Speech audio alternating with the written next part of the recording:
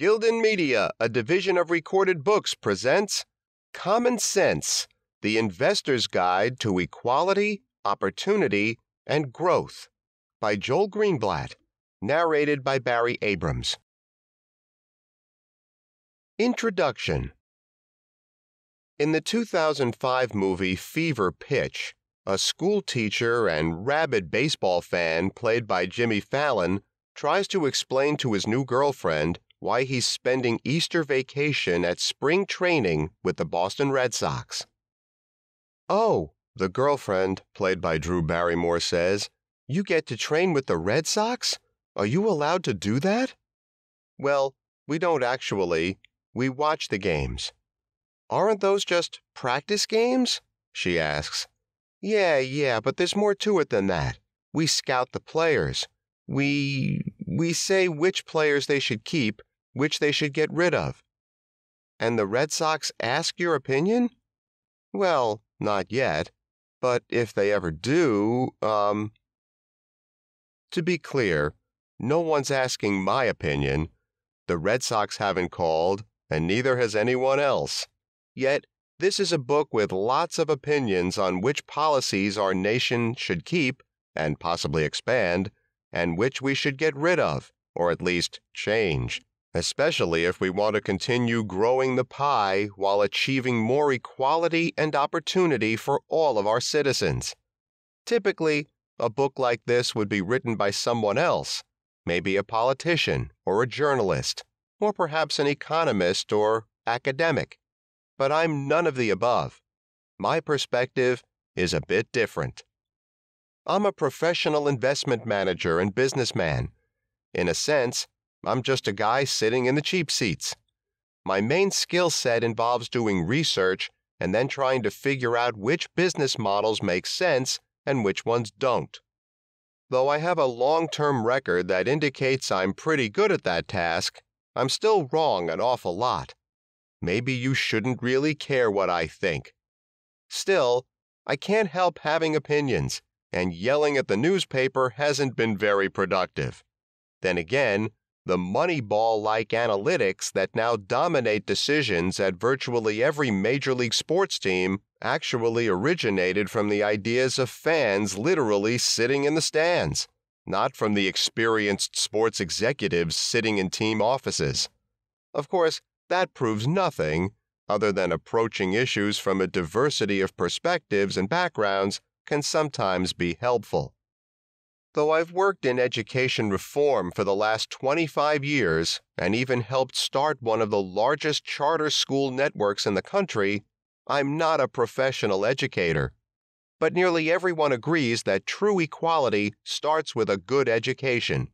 So it should be troubling that our education system is literally designed to be unequal from the start. Yet, as an investor, it's hard to imagine a bigger payoff than successfully teaching children how to fish. Bill Gates has called education reform more difficult than eradicating polio, malaria, or tuberculosis. While much of what I write is disturbing, I have some thoughts on how we can work around the current system to create real opportunity for students and adults of all backgrounds, right now. Hopefully, you'll find these ideas add a new perspective and are worth considering. Over the last 25 years, the forces of globalization and technology have wreaked havoc on the value and pay of retail, factory, and most semi and low skilled workers across the country. Then again, in 1900, almost 40% of Americans worked on farms. Now it's less than 2%. We've been through disruption before and not only survived, but thrived. We can do it again. But this time, change is arguably coming faster than ever, and not everyone has time for more education. Fortunately, there's plenty we can do to help during the economy's transition. It just may take a little different mindset. Thinking like a long term investor rather than an accountant at the Congressional Budget Office, could come in really handy as we try to help our workforce navigate these new disruptions. Immigration is a controversial topic. But for the United States, it should be a giant bonus, not a problem. A simple change to our immigration rules can simultaneously help our current workforce supercharge growth and confront the challenge of a globalized economy. Though most Democrats and Republicans would support it, our existing immigration policies encourage the exact opposite behavior. The good news is, it doesn't take a complicated investment thesis to understand all the benefits of this change. The math is so simple and the evidence so compelling, an elementary school education should do the trick. While there are no free lunches in economics, nor sure things in investing, this may be an exception. Pretty much everyone hates banks and Wall Street. I got nothing here, just thought I'd mention that. Actually, there are some simple changes to the way we capitalize and regulate banks that should help grow the economy, increase access, and create more jobs. And this time, and with these changes, the risks and benefits will fall exactly where they should with investors, not taxpayers. Finally, if you think suggesting we blow up Social Security is like diving headfirst onto the third rail of politics, try me. There's a better way for the many to save and gather wealth. Australians do it. We can too. But if we call it supplementing Social Security instead, we can get a lot more people on board. Now, everyone can be a long term investor. What the proposals that follow have in common is a simple mission to address two basic questions. If we want to make productive investments in the well being of our citizenry, particularly those who need it the most, what else can we try?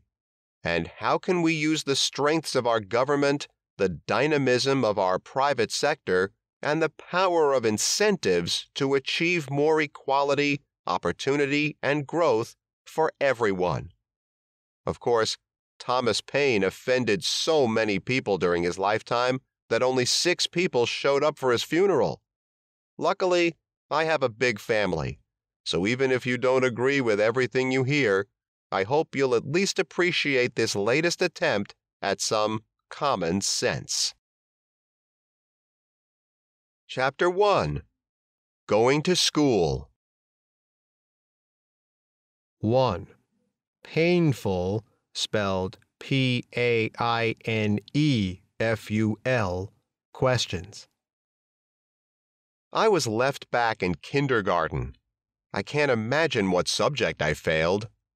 Midway through second grade, I still couldn't read. Luckily, I was a pretty amiable kid, at least according to my parents, so I had that going for me. Though for the whole time, I think they were just hoping that I didn't see the need to rush. It's like the old joke about the six year old who had never uttered a word. At dinner one night, out of nowhere, the young boy finally blurts out, Soup's cold! His parents, completely taken aback, ask why he waited so long to speak. The kid answers simply, Everything's been fine till now. Patience and contentment are admirable qualities for sure, but not if you're really upset about something and your goal is to foment serious change. I'm guessing that's what Thomas Paine was thinking in 1776 when he wrote Common Sense a book that sold 500,000 copies to a population of only 2.5 million, not all of whom could read, more on a relative basis than any book in American history, not counting the Bible. His little pamphlet professed no patience for the status quo, and its impact was incendiary and immediate. George Washington even credited common sense with being one of the major influences in winning support for American independence. So, what was it about this little book that made it so popular and ultimately so powerful? Of course, Paine could have started out railing against taxes and exploitation and in favor of voting and property rights. But he doesn't.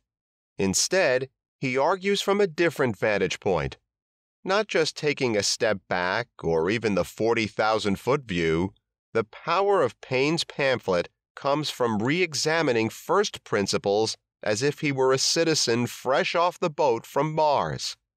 He begins, and I may be paraphrasing a bit here where did this king guy come from anyway? Who picked him?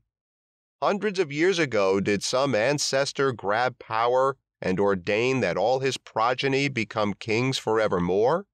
Or maybe back then, the people, by general acclamation or even a vote, chose a king. That's great, but why are we stuck with a decision made hundreds of years ago by a bunch of dead people? Is that fair? Is that moral? Does it even make sense?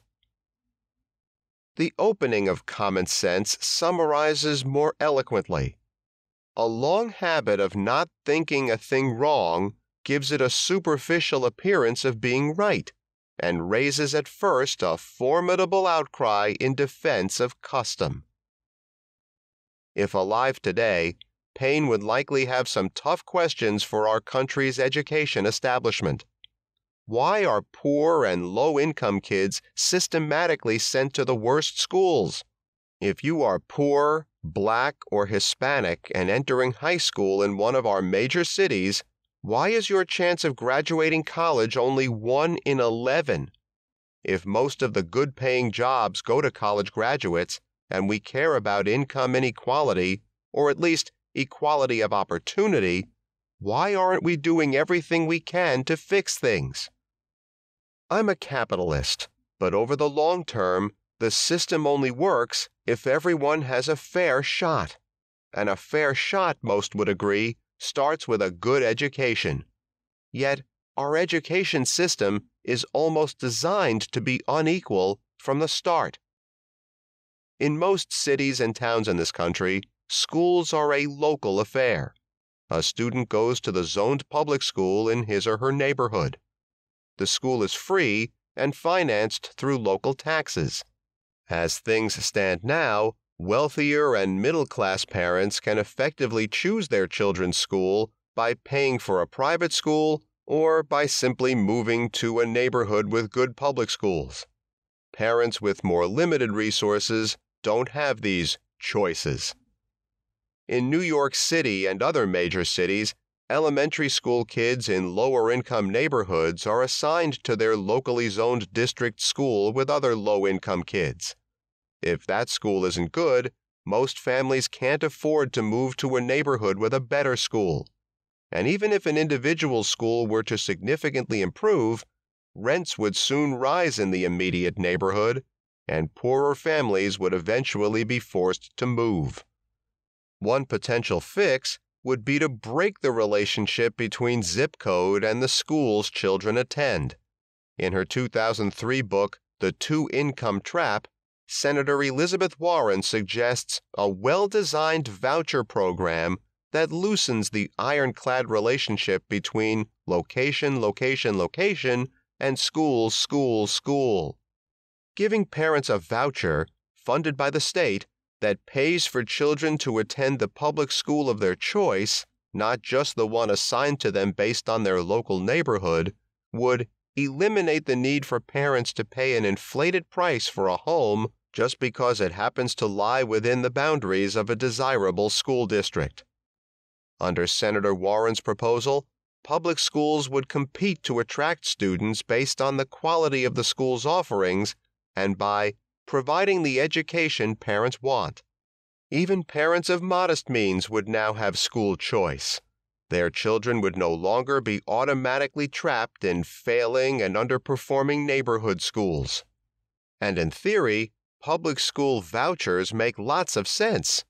We should all hope that some version of the senator's plan gets implemented, especially in our most challenged urban districts. It's certainly an improvement over the current system, where, as the saying goes, zip code effectively determines destiny. But this is where good theory runs into a rougher reality on the ground. In the real world, almost every parent whose kids were already zoned for a good school would object to losing that preference. In fact, New York City actually has a public school choice PSC program. But for the most part, kids in good district schools aren't forced to leave, so there aren't very many spots available in their schools. In 2017, 876 lucky kids were able to switch to a better district school through the program a public school choice program that gives a choice to 876 kids out of the 1 million in New York City district schools isn't very effective. You don't need to pass a math test to figure that out. So, what else can we do? Well, putting aside the school choice issue for a moment, one thing we should certainly try is to fix underperforming schools. But how should we go about doing that? And even before we set out to fix things, maybe we should entertain the possibility that our schools are already doing a pretty good job. Considering the conditions students and parents are facing in our major cities, including poverty, crime, drugs, health, and family issues, maybe our education system is doing the best it can. Maybe a big part of the answer actually lies in solving some of these other problems first. The truth is, though, there probably isn't a first. We need to work on each of these challenges economic, social, and educational simultaneously. In fact, it's pretty obvious that they're all intertwined. Nevertheless, granted all the external challenges, if we wanted to improve the education system right now, what would we do? What should we try? One obvious answer would be to give schools more resources, more money. Of course, the money would have to be spent intelligently. Unfortunately, the most recent evidence of additional government spending to help improve inner city schools is pretty discouraging. It's not clear that the most recent state of the art interventions to fix underperforming public schools work at all started toward the end of the George W. Bush administration and significantly expanded under Barack Obama, the School Improvement Grants SIG program spent a total of $7 billion in an attempt to improve underperforming schools. These interventions included replacing principals and teachers, instructional reforms, new governance structures, increased learning time, allowing more flexibility, as well as closing or restarting entire schools, among others. In January 2017, the Obama administration released a final report on the SIG program. In an unusually blunt government version of, We spent a lot of money and didn't help anyone, the report stated, We found no effect of SIG funded models on student outcomes when we examined the impacts of SIG funded models on math and reading test scores, high school graduation, and college enrollment, for all of these student outcomes, we found no significant impacts within student and school subgroups. The most recent intervention in New York City to fix failing schools has been equally unsuccessful. New York already spends the most of any state on education per pupil while offering the highest teacher pay in the country. Fourth grade reading and math scores rank the state 27th and 36th by results.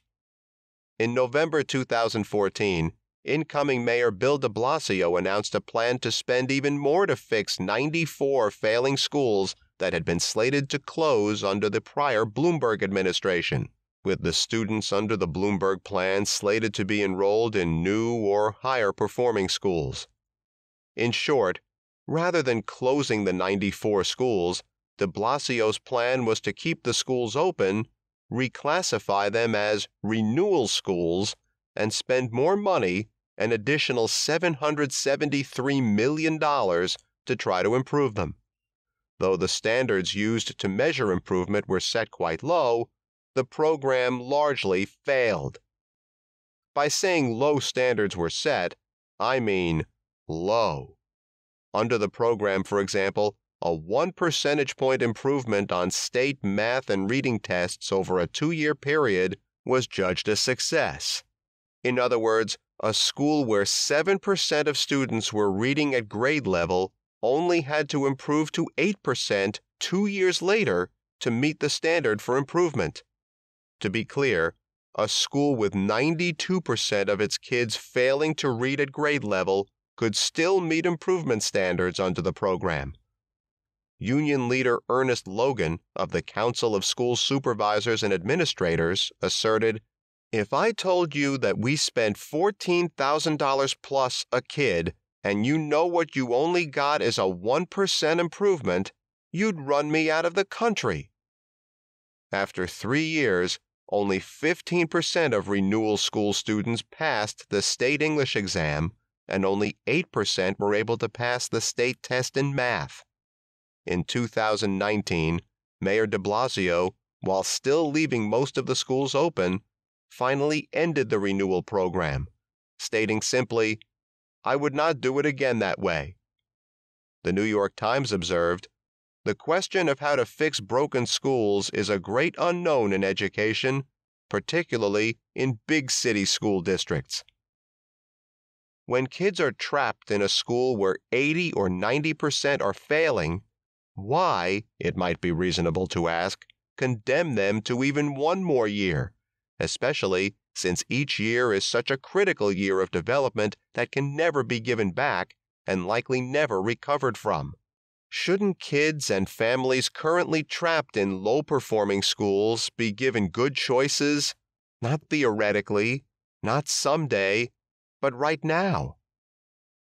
While every caring and fair minded person would likely answer a resounding yes to that last question, there is still a lot of controversy over how to go about providing these good choices. One avenue of thought says that we should just keep trying to improve poorly performing district public schools. More money, more resources, more training, etc. Unfortunately, the most recent state of the art interventions in school improvement do not hold out much short term hope for kids currently trapped in these underperforming schools. Another avenue would be real public school choice, Elizabeth Warren style. No longer would it matter where you live. Students could apply to any school in the state they choose. There would be no preferences based on neighborhood. Ideally, the selections would be made by lottery, giving every student a fair chance to get into a school of their choice. There are two reasons this option won't solve our problem anytime soon. One we already know. Families currently zoned for a good school would object. Many of these parents are relatively better off and better connected and would make for a powerful opposition force. Second, there just aren't enough good schools to go around. While elementary school students. We hope you enjoyed this preview. To continue listening to this audiobook on Google Play Books, use the link in the video description.